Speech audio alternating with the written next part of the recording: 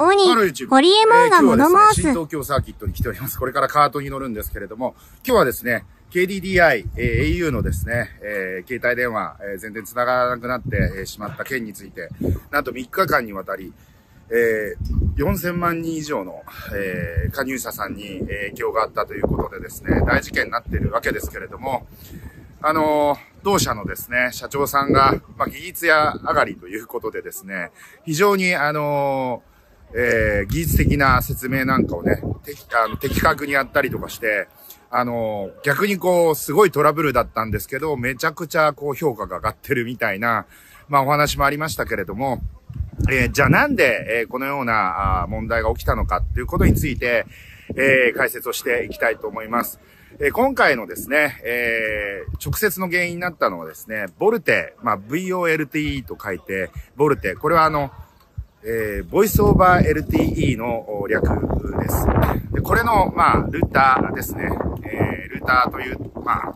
ルート制御をする、えー、まあ、交換機みたいなものなんですけれども、こういったものがですね、えー、えー、これをあの、新しいやつに、古いやつから新しいやつに、えー、変える作業をしていたところですね、えー、そのうちの1台なのかな？が、えー、不具合を起こしまして、えー、その後ですね、服装という状態になりまして、えー、まあ、多くの加入者さんが、え、影響を受けたという話になっております。で、この、ボルテ交換機がですね、16台かな、えー、ぐらいあるらしくてですね、そのうちの、えー、その後もですね、4台ぐらいが不具合を起こし続けていて、えー、それによって、それをデータベースの接続を切ったことによって、なんとか今回復に向かっていると、ほとんど今も回復したっていうふうに言われております。で、これに関してですけれども、えー、じゃあなんでこういう問題が起こったのかというと、これ 3G 時代には多分あまり起こる可能性がなかった、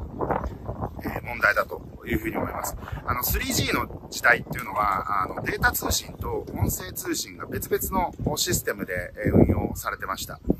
えしかしながらこの LTE ね、えー、という、企画はですね、えー、音声通信を想定してないと。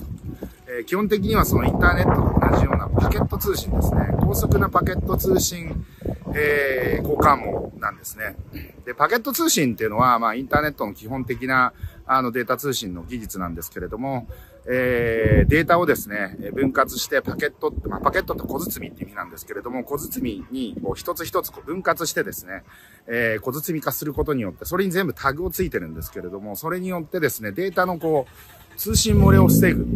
えー、どちらかというと確実にデータを、え、届けるための技術です。えー、そのまあ代償としてって言ったら何なんですけれども、こうリアルタイム性だったりとかですね、確実性っていうのが、えー、非常にあの失われてしまう部分があります。えー、そういった中でですね、え、まあ、ボイスオーバー LTE ってのはつまり音声通信をですね、その LTE 網の上で走らせるための、え、技術なんですね。えー、パケット通信網の中でリアルタイム性をある程度確保しながらですね、いわゆるその緊急電話通信119番とか110番みたいなものも、えちゃんと、えー、届くようにということでですね、結構その普通の LTE のデータ通信よりもですね、えー、結構その要求性能がめちゃくちゃ大きいことがあってですね、なかなかその、まあ、データベースの参照のタイミングとかがめちゃくちゃ大きいんですね。で、スマホが、しかもその端末からですね、えー、50秒に1回かな。50秒に1回とか、データベース、あのー、自分の位置情報を、こう、データベースに登録するみたいな作業も、えー、やってるんですね。で、これも、その、いわゆる、電話としてですね、必要な要件を満たすために、そういった仕様になってるわけですけれども、こいつが、あ実は、あの、こういったトラブルを起こした一つの大きな原因だというふうに言われてます。つまり端末側が、えー、今回、そのボルテ交換機がですね、不具合を起こしてですね、データベースへの接続がすごく悪くなって、あと、データベースに登録しようとして登録できなかったりとか、そういったことが起こって、こう、データの端末側と、その、え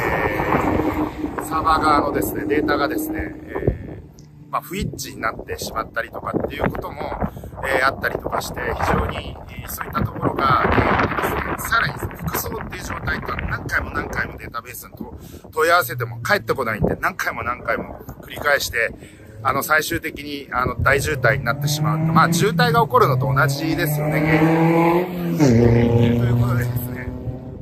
えー、そういったことが原因で、えー、服装が起きてしまい、服装っていうのはそういう渋滞してるような、まあ、状況ですね。えー、これが起こってしまってですね、え、大問題になってしまったと。まあ、つまり、えー、まあ、そ、そもそもそのリアルタイム通信的なものをですね、普通の昔のアナログ電話網みたいなことを想定してなかった LTE って技術の上で、えー、既存のね、昔ながらの電話つ、電話を、その、要は、繋がりにくいとか、途中でブチブチ途切れるとか、遅延が生じるとかいう、その、えー、ボイスオーバー IP だとそういう風になっちゃうんですけど、えー、そうじゃないように、あの、前の電話と同じぐらいの、こう、リアルタイム性と、えー、接続性っていうのを維持しようとした結果、データベースへの負荷が、やはりすごく大きくなるようなシステム設計になっているってことが僕はこれは大きな原因なんじゃないかなというふうに思います。えー、ぜひですね、KDDI さんには再発防止に努めてほしいと思っております。えー、僕はですね、ドコモだったんで関係なかったんですけど、えー、いってらっしゃい。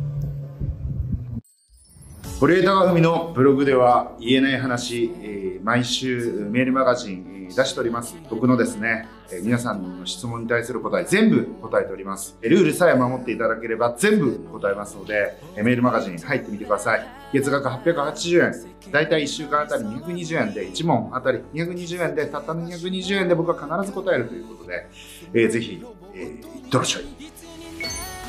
雑談アプリでは月額1500円でビジネスパーソンの音声、え聞き放題そして動画も見放題ということでいっとらっしゃい